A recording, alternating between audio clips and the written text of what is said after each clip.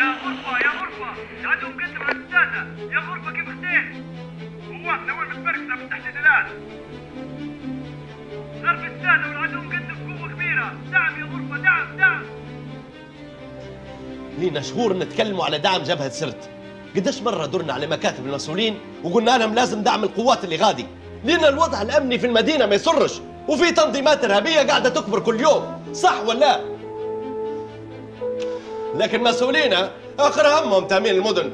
همهم خنبة الفلوس وتعيين أقاربهم وأحبابهم في المناصب والسفرات صدقت يا فندي قمة العار.